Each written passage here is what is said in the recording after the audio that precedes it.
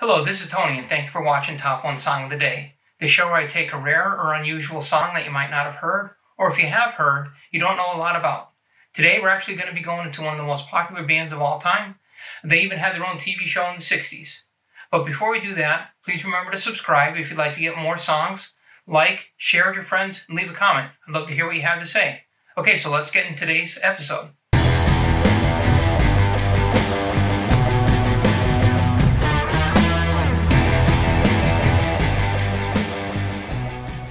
Okay, so today's top one song of the day is Porpoise Song.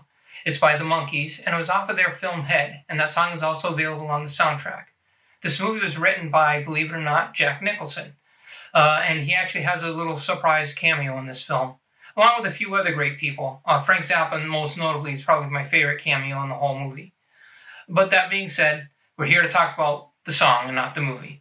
This song is a really, really trippy song uh, very different for the Monkees, and it was written by Carole King.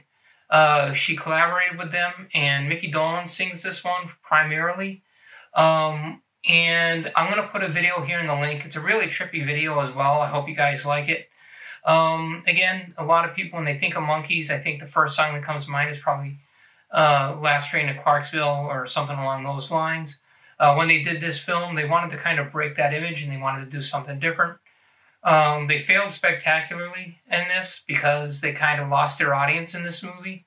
But somehow, in the process of making this movie, they created some pretty great music. And to me, it's their best album. It's worth uh, picking up if you haven't already.